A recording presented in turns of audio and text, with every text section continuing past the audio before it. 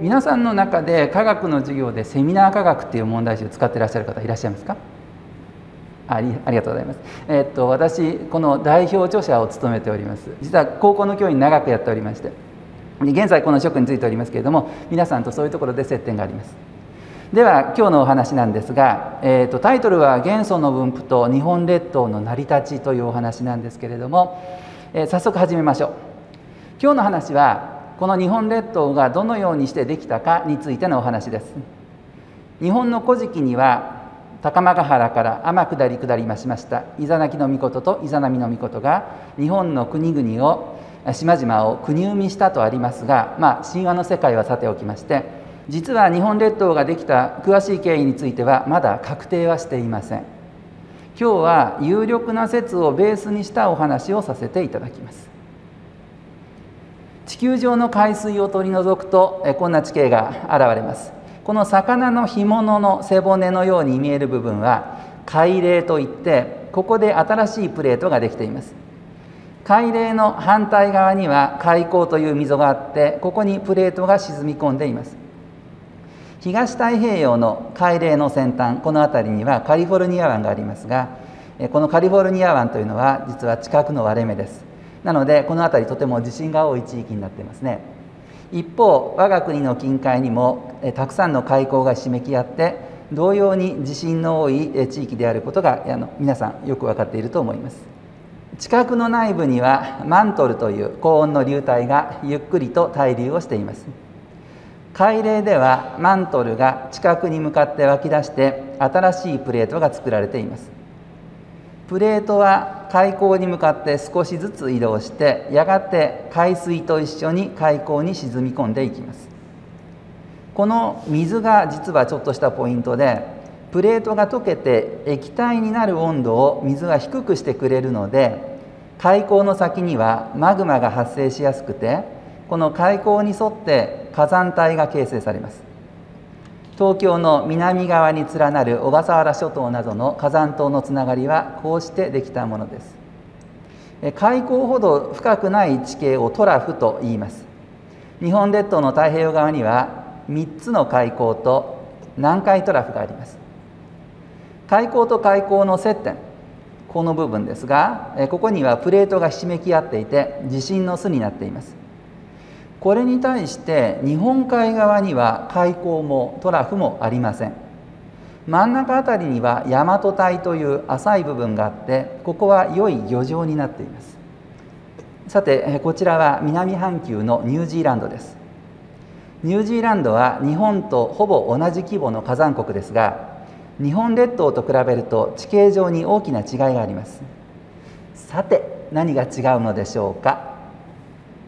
島の数ではなくて山脈の並び方に注目してください。よろしいですか？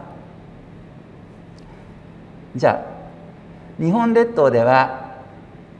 えこの西日本のと東日本の山脈の並び方がニュージーランドと違って曲がっています。ニュージーランドまっすぐでしたね。ちょうどこの日本列島の一番大きな島は本州なんですがこの私たちのいる関東地方あたりで本州っていうのは折れ曲がっています。実はこの地形は世界的に見て極めて珍しいものです。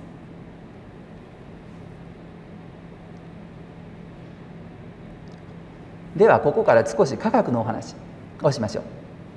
う。これは科学の教科書に載っている元素の周期表ですね。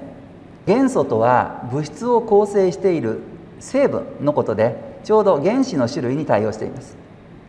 周期表の真ん中あたりの元素は繊維元素といってここでは横に並んだ元素の性質がよく似ています。一方左の2列と右の6列の縦ここは典型元素といって縦に並んだ元素の性質がよく似ています。これ化学基礎で習ったと思います。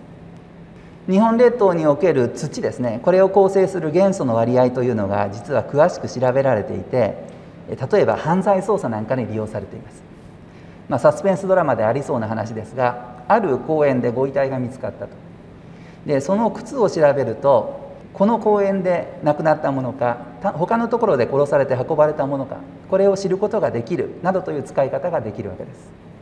この図は地球科学図というものでクロムという元素の分布を表しています、えー、赤い部分がクロムの濃度が比較的濃い部分。青い部分が薄い部分です。えなおここでいう濃い薄いですがこれはあくまで相対的なもので、えー、赤いところに有力な鉱山があるというわけではないんです。ではここからは日本海に囲まれてるから海の影響を受けにくい元素でお話をしましょう。でこの図はルビジウムとセシウムというこのアルカリ金属といいますが縦並びの元素の分布を表しています。でこれらは互いに性質が科学的な性質がとてもよく似ています。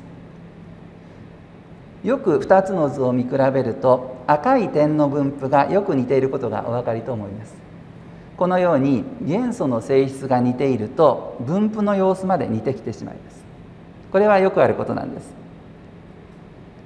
次はクロムとニッケルの分布です。これらは繊維元素で、まあ、横に並んでいますから比較的性質が似ています。両方とも赤い並びの地域に類似点があることがお分かりでしょうか。この部分なんですが四国の佐田岬半島から徳島県を横切って紀伊半島を貫き渥美半島からぐっと曲がって関東地方に至るこのラインですね。ここに赤い点が並んでいます。これメジアンラインという大きな断層です。それからここですね。北海道に縦に並ぶ赤い元素の帯がありますけれども赤い点の帯がありますけれどもここはかつてのユーラシアプレートと北米プレートの境界線ではないかと言われています。周期表の欄外に置かれている2列の元素はランタノイドとアクチノイドと呼ばれて横並びの性質が上段の繊維元素よりも似ています。まあ黒磁と言っていいぐらい似ています。この図は磁石によく使われるネオジウムとランタンという元素の分布です。それからこちらはセリウムとサマリウムという元素の分布です。全部4つこの上段に並んでいますので4ついっぺんに比べてみましょう。一度に眺めるとよくわかりますが濃淡の分布の様子が極めてよく似ていますね。こんな性質が周期表と元素の分布から見て取ることができるんです。ではこれはウランとルビジウムですがこれはあの型や典型元素型や繊維元素なのでうん周期表から推測される類似点というのは本来ないはずなんですがちょっとこの新潟県の南部を見るとここに高濃度地域の分裂が見られますね。でもう少し視野を広げると関東地方から新潟県に向かう、え何か溝のようなものがあるということがわかると思います。ここですね。この溝はフォッサマグナと呼ばれています、えー、大きな溝という意味のラテン語でこのフォッサマグナの西側の境界線は有名な糸魚川静岡構造線という断層です。東側の境界は柏崎千葉構造線および柴田小出構造線という断層です。本州はちょうどこのフォッサマグナの部分で折れ曲がっています。この赤い線は先ほどのメジアンラインですが四国紀伊半島まではほぼまっすぐなんですが渥美半島を通ったところで大きく北に曲がっています。でメジアンラインはフォッサマグナの部分で地上から姿を消していて柏崎千葉構造線の東側で再び地上に現れています。ちなみにメジアンラインと糸魚川静岡構造線が交わったこの辺りに諏訪湖という湖があってここから糸魚川静岡構造線に沿って天竜川という川が流れています。さてそれではフォッサマグナとメジアンラインどちらが先にできたのでしょうか？時間があれば当てて答えていただくんですがこの答え後ほどご紹介するということで次に行かせてください。えー、さてストロンチウムとイットリウムってこれ横並びの元素横に並んでいるんですけれども周期表で、えー、ですがですねストロンチウムは典型元素それからイットリウムは繊維元素で周期表上の類似点は本来ないはずなんです。しかしこのメジアンラインの南部に注目すると共通にこの南部の濃度が低くなっているということがお分かりいただけると思います。しかし同じメジアンラインの南部なんですがこの伊豆半島ではストロンチウムの濃度は高いけれどイットリウムの濃度が低くなっています。このようにあの伊豆半島っていうところは周囲と異なる環境にあるということがお分かりいただけると思います。ここですね。では次です。で今度はカルシウムの分布。これを地域に分けて見てみましょう。カルシウムは海水に多く含まれているからなるべく内陸に注目したつもりなんですが西日本では中国山地沿いに高濃度の地域がありまして四国から紀伊半島ではさっきのメジアンラインに沿って高濃度の地域があります。一方東日本では静岡県の東部メジアンラインの東側です。静岡県のメジアンラインの東側ですね。それから関東地方の内陸部この辺りです。東北地方の東側そして北海道中央部に高濃度の地域があります。これ何かというと実は日本の石灰岩地帯の分布に対応しています。石灰岩の主成分は炭酸カルシウムというカルシウムの化合物です。で日本列島には実はたくさんの石灰岩地帯があります。でこれらの石灰岩にはサンゴ礁に住む生物の化石がよく含まれていてつまり日本列島のこの石灰岩は暖かい南の海で作られてプレートに乗って運ばれてきたものと考えられます。フォッサマグナこの部分ですがこの西側では石灰岩地帯がちょっと全部出しましょう。西日本では石灰岩地帯が2列に分かれて平行に並んでいます。一方東日本では山脈に沿って1列ですね。そしてこのフォッサマグナの南側ここにも石灰岩地帯があります。さて南の海で作られたサンゴ礁はプレートの動きに乗って北に運ばれてプレートが海溝に沈み込むこの部分で剥ぎ取られていきます。同時に海洋で堆積したさまざまな土砂も剥ぎ取られていきます。これを深体と言います。堆積物の一部はプレートと一緒に地底に沈み込んで地圧とそれから地熱とによって変成岩という性質の変わった岩石になります。この地下でできた変成岩はマグマの上昇に伴っていろいろな元素を含む熱水とともに上昇してきます。そしてこの図からお分かりと思いますがこうしてできる、変成岩は海側にあるものほど新しいものということがお分かりいただけると思います。実は日本列島はいくつもの変成岩の帯が島状に重なってできています。これらの変成岩は太平洋側ほど新しい時代のものであり日本海側ほど古い時代のものです。このことから日本列島の原型は海溝におけるプレートの沈み込みでできたと考えられます。一方でこの飛騨地方この辺りですがここに分布する片麻岩という岩石と同じ時代にできた片麻岩が朝鮮半島に分布しています。これは過去に日本が大陸の一部であったことを示しています。と考えるとこの日本海は後からできた海と考える方が良さそうです。そして主に東北日本の日本海側にはグリーンタフと呼ばれる緑色の凝灰岩が分布しています。この凝灰岩は火山灰が海底で堆積してできたものです。グリーンタフはフォッサマグナの内部にもあります。そして同じ地域に海底における火山性の熱水熱い水によって形成される黒鉱という硫化物鉱石が分布しています。あの科学で習いますけれども、えー、重金属元素の硫化物って大体黒い色をしてますね。あのあれです。でこのことから東北日本がかつて日本海底であったことフォッサマグナも同時期に海底であったことそして日本海側で大規模な火山活動があったことが伺えます。日本列島にはたくさんの火山帯があってそれこれらのうち千島那須富士霧島の各火山帯はそれぞれ海溝やトラフに平行に並んでいますのでこれは、えー、プレートの動きでできた火山帯と考えられますが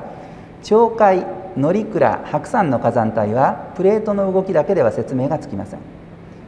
これらはかつて、えー、日本海であった火山活動の名残と考えてよさそうです。以上のことから日本海はマグマの湧き出しによる大規模な火山活動を伴って形成された海と考えてよさそうです。これ先ほどと同じ図なんですが太平洋側のプレートの沈み込みによってここにプレートが溜まっていきます。これが溶けてマグマになって湧き出して小規模なプレートを形成しながら海が広がっていった。これが日本海という説が有力になっています。えここまではずっと状況証拠を挙げてきたのでそれでは今の話を時系列に沿ってまとめてみましょう。日本列島を形成したプレートはもうこれないんですがイザナギプレート古事記にちなんでイザナギプレートと命名されています。イザナギプレートは当時大陸に向かって移動して深帯を作っていましたがここに大きなユーラシアプレートがあるのでこれにぶつかって北側に動きを変えたと言われています。この動きによって左右に分かれていた深帯がくっついて日本列島の元ができました。この時の深帯の境界線がメジアンラインです。フォッサマグナ西側に石灰岩地帯が2列に並んでいた理由がこれでお分かりいただけたと思います。この深帯はマグマの動きによって少しずつ大陸から離れていきます。この時に浅くて暖かい海ができます。でここで石炭と石油の元が作られたと考えられています。日本にかつてあった大規模な炭田である筑豊炭田やあるいは石狩炭田はこうしてできました。また現在でも日本海側に小規模に湧き出している石油の元もこの時期にできたのではないかと言われています。やがてこの浅い海でマントルの湧き出しによる大規模な火山活動が起こり日本海が広がっていきました。この動きに伴って深帯が折れ曲がって、えー、溝ができそして東北日本が一度海に沈みます。グリーンタフや黒鉱ができたのはこの時代と考えられています。火山灰が溜まったわけですねこの辺りね。えそしてやがて地殻の運動によって東日本が隆起してきます。そうすると割れ目としてのフォッサマグナが現れます。北部では火山灰や陸地からの土砂がここを埋めていきますが南側からフィリピン海プレートの動きに伴って火山島がずっと押し寄せてきてこの割れ目に向かって入っていきます。なのでこの辺りに、えー、南の海でできたサンゴ礁の名残があるということです。実は伊豆半島はこの動きによってフォッサマグナにぶつかった大きな火山島だったと考えられています。この動きがあまりにも大規模だったので増山運動を誘発して日本の象徴である富士山ができたと考えられています。ということでメジアンラインとフォッサマグナどうやらメジアンラインが先にできたということになりそうです。皆さんお考えは合っていましたでしょうか？ではもう一度日本現在の日本海に目を向けてみましょう。そう言って話を聞くとこの大和隊昔の割れ目の名残に見えてきませんか？はい、えー、私のメインの話ここまでなんですがせっかく皆さんおいでいただいたのでちょっと時間をいただいて受験に関して大事なお話をいたしましょう。えっとこの2つのグラフなんですが左側はちょっと古いデータなんですけども広島県の学力調査の結果です。小学5年生を対象にしています。ピンクが国語の成績で緑が算数の成績です。横軸が時間です。山なりになっていることが分かりますね。極大値がだいたい789時間あたりに並んでいますね。さて何の時間でしょうこれ？って聞くと、まあ、答えがパッと出てくることも多いんですが時々勉強時間っておっしゃる方がいらっしゃるんですが小学校の頃9時間も勉強してたんですねそういう方は。これ勉強時間ではなくて実は睡眠時間です。もちろん授業中の睡眠ではありませんよ。あの夜の睡眠時間です。